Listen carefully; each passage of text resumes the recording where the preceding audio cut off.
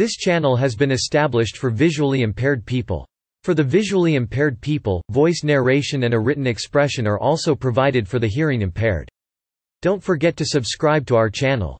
United Kingdom Bita Paka Toma Tsingtao Singapore Madras Penang Cocos Papeete Coronel Más a Tierra USN Operations Guam See also, Hindu-German conspiracy The occupation of Samoa, the takeover and subsequent administration of the Pacific colony of German Samoa, started in late August 1914 with landings by an expeditionary force from New Zealand called the Samoa Expeditionary Force. The landings were unopposed and the New Zealanders took possession of Samoa for the New Zealand government on behalf of King George V. The Samoa Expeditionary Force remained in the country until 1915 but its commander, Colonel.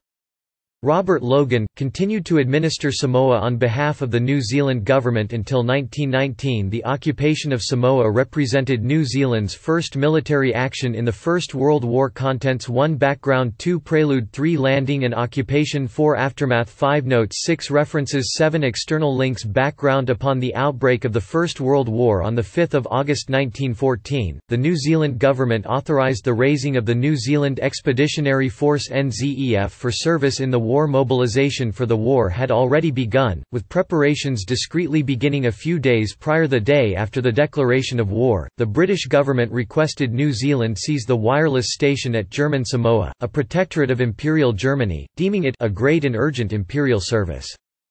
Since the days of Richard Seddon, the Prime Minister of New Zealand from 1893 to 1906, the New Zealand government had aspired to control Samoa even prior to the war. Plans for the occupation of Samoa had been laid down by the Commandant of the New Zealand Military Forces, Major General Alexander Godley, who believed that this would be one likely usage of New Zealand's military in the event of an outbreak of hostilities. The British request was immediately accepted and instructions issued to Godley to raise a composite force specific specifically tasked for this purpose Prelude what was to be known as the Samoa Expeditionary Force SEF was formed with volunteers drawn primarily from the Auckland and Wellington military districts. It included an infantry component, with three companies of infantry from the Auckland and Wellington regiments, a battery of field guns, a section of engineers, companies of railway engineers and signallers, as well as personnel from the Royal Naval Reserve, Army Service Corps, a field ambulance section, as well as nurses and chaplains. There was also a detail from the the New Zealand Post.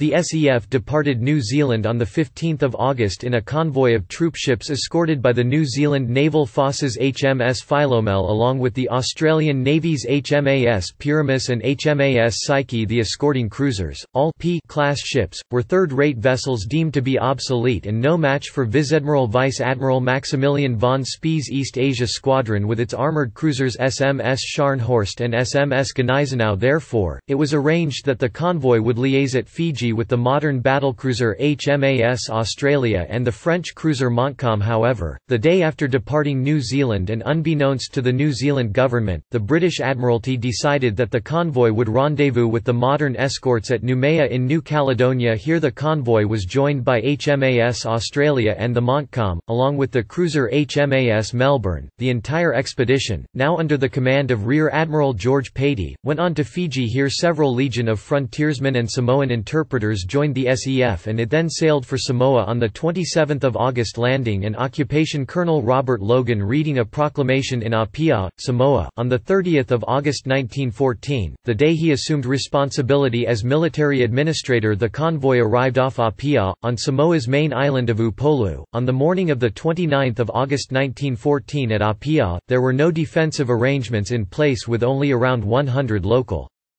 Militia known as Fita Fita available intelligence provided by the Australian authorities had already indicated that opposition was likely to be around 80 constables with a cadre of German officers along with a gunboat however, the Germans could not count on the support of the Samoans to defend any attempts at a landing the governor of German Samoa, Dr. Erich Schultz, had proceeded to the wireless station upon observing the approach of the convoy while the Australian warships, together with the Montcalm, stood off from Apia, the Psyche proceeded into the town Downs Harbour under a flag of truce transmissions from the wireless station were detected but these ceased following orders from Patey after an hour. A message from Schultz indicated that although Germany would not officially surrender the Samoan Islands, there would be no resistance to a landing by the New Zealanders upon receiving this news. The troopships began transferring the New Zealand soldiers into launches and shuttling them to shore government buildings, including the post office and telegraph exchange, were seized by early evening and a party dispatched to the wireless station, in the hills several kilometres away by the time the New Zealanders arrived. Close to midnight, the German operators had sabotaged much of the equipment rendering it inoperative troops dispersed to camps and were allocated patrol areas the following day. A ceremonial raising of the Union Jack took place in front of the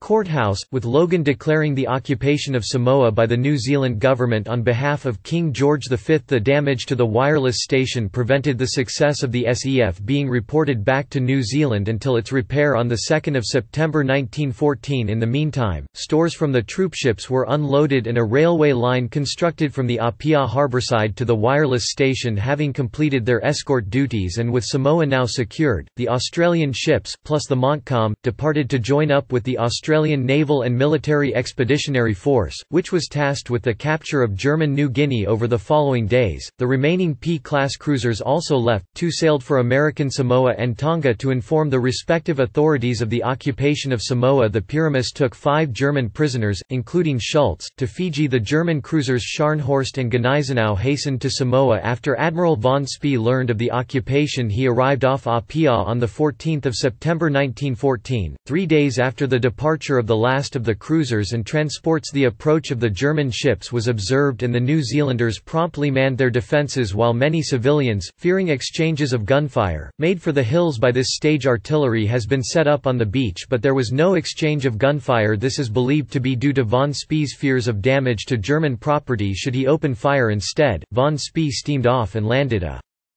Small party further down the coast and learned from a German resident the apparent strength of the occupation patrols dispatched to the area later interned the German resident the German ships then made for Tahiti, a French possession, where von Spee would direct the bombardment of Papeete he then rejoined the rest of his fleet and headed for South America. Aftermath the SEF remained in Samoa until March 1915, at which time it began returning to New Zealand. A small relief force arrived in Apia on 3 April 1915 and the troopship that that brought them to Samoa transported the last of the SEF back to New Zealand Logan remained and would continue to administer the country on behalf of the New Zealand government until 1919 his term was controversial for he significantly mishandled the arrival of the influenza pandemic in November 1918, resulting in over 7,500 deaths from 1920 until Samoan independence in 1962. New Zealand governed the islands as the Western Samoa Trust Territory, firstly as a League of Nations Class C mandate, and then from 1945 as a United Nations Trust Territory Notes footnotes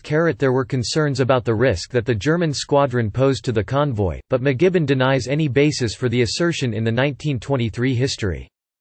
Subsequently repeated by Michael King in his 2003 History of New Zealand, that the force narrowly escaped disaster, with the German cruisers sailing well to the north at the time rather than only 15 miles 25. McGibbon 1991, p